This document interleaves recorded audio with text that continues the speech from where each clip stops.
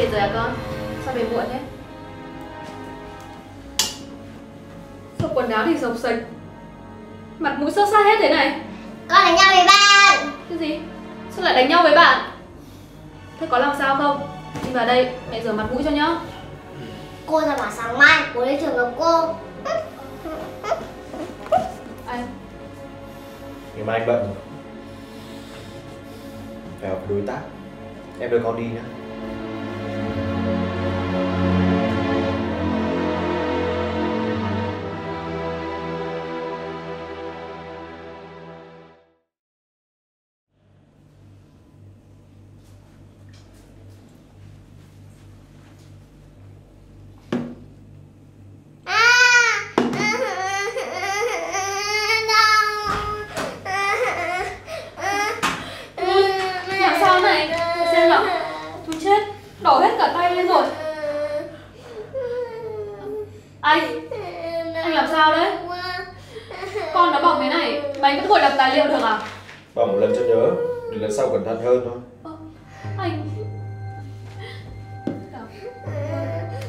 alo.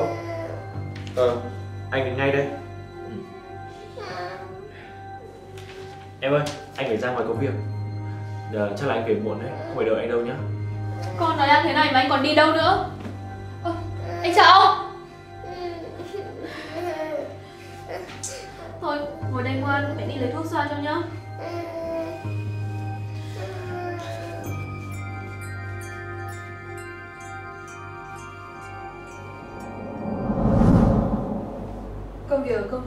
Nào rồi anh?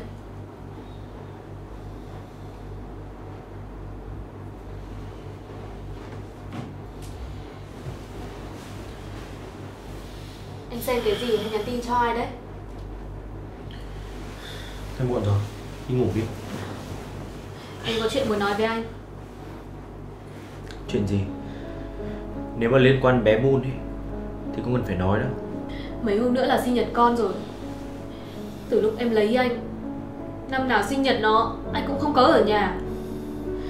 Anh có biết là con bé nó tủi thân lắm không? thôi ngủ đi anh mệt rồi. Nếu em chưa muốn ngủ ấy thì cứ ngồi đấy. Con bé nó là con ruột của anh đấy. Tí tuổi mà nó đã biết suy nghĩ hơn con nhà người ta rồi. Anh quan tâm nó một chút đi. Không đến lúc Hối không kịp đâu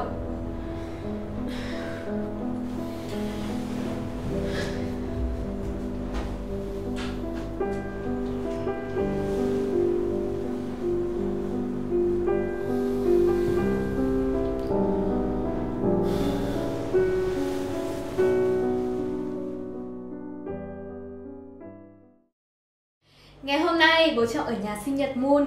Thế nên là hai mẹ con đã làm một bàn tiệc siêu to khổng lồ. Đây là món quà mà Moon muốn dành tặng cho bố Trọng Để cảm ơn bố vì đã sinh ra và nuôi lớn Moon. Vì Moon không thể làm được Thế nên là ủy thác cho mẹ để mẹ làm giúp Moon. Và đảm bảo là bố Trọng sẽ rất rất rất là thích. Ta-da! Xin giới thiệu, đây là món gà không lối thoát mà bố Trọng rất thích ạ. Cả nhà vỗ tay nào.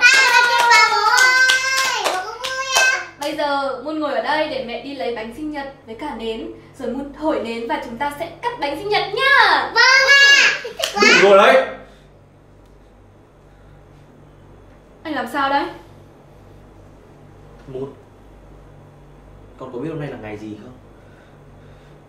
Vì sinh ra con Mà mẹ con chết ngay trên bàn mổ đấy Thế mà con vẫn còn vui vẻ tiệc tùng à? Anh Trọng Sao anh lại nói với con như thế? Vì con. Mà mẹ con mới chết đấy. Anh thôi đi. Tại sao anh làm bố Mà anh lại có thể tàn nhẫn độc ác như thế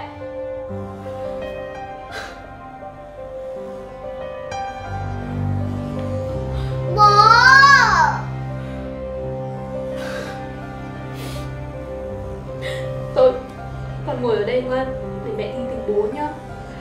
Mẹ sẽ đưa bố về Rồi cả nhà mình cùng cắt bánh nhá. Vâng ạ. Ừ, Ngoan lắm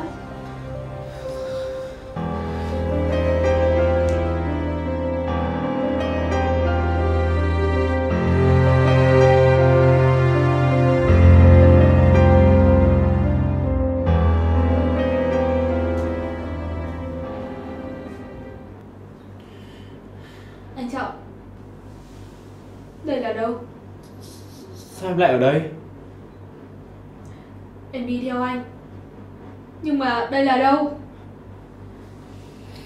Đây là nhà cũ của anh Lúc Moon chưa ra đời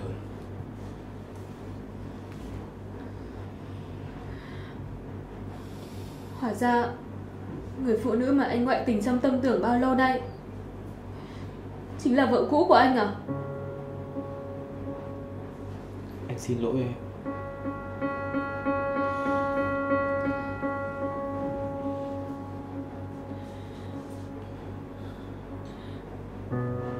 giống mẹ quá. Lấy anh.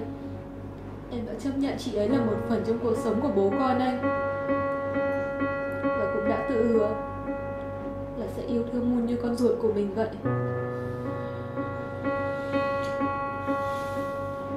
Ai cũng bảo con bé giống mẹ như đúc. Cứ nhìn nó. Anh lại nhớ đến cô ấy. Món ăn ngày hôm nay Cũng là món ăn Mà ngày xưa cô ấy hay thường nấu cho anh. Thế nên Anh đã nổi giận với em và con. Anh đúng là người chồng Người cha tồi mà. Chắc là con bé ghét anh lắm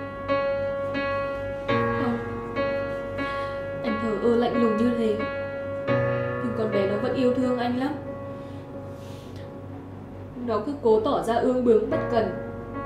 Chỉ để anh quan tâm nó hơn thôi.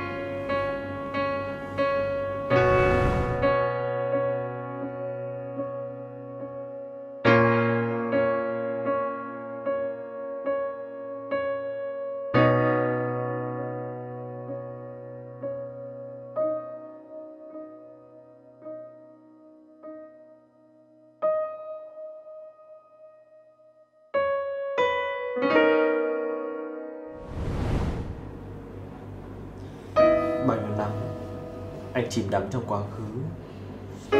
Mà làm tổn thương em, Tổn thương con. Anh xin lỗi. Quá khứ là để trân trọng, Chứ không phải để nhớ thương. Người đã khuất sẽ không thể ra đi thanh thản. Nếu như người ở lại cứ mãi tự dần vặt mình như vậy. Thôi Về nhà đi anh.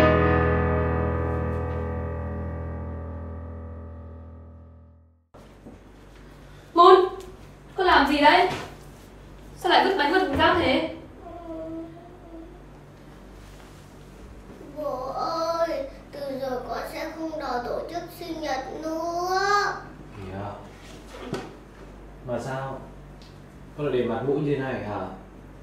Vì tại con giống mẹ nên bố mới không vui.